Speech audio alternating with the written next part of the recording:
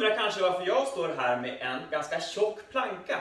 Jo, det är så att många har ju problem att de blir baktunga när de står och stakar. Och mycket också på stakmaskin. Står och fäller mycket, rumpan hamnar väldigt långt bak, väldigt mycket tyngd på hälarna. Skulle man göra det på skidor så skulle man ju röra sig från stavarna.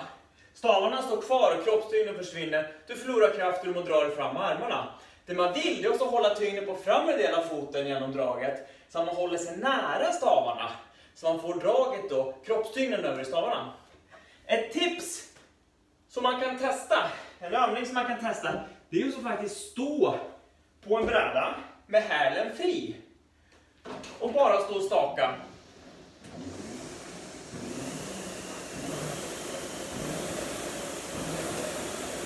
Skulle jag ställa bak rumpan, överkroppen och komma för långt bak med rumpan, då skulle jag gå i, då skulle jag tappa balansen och då skulle jag inte kunna stå här.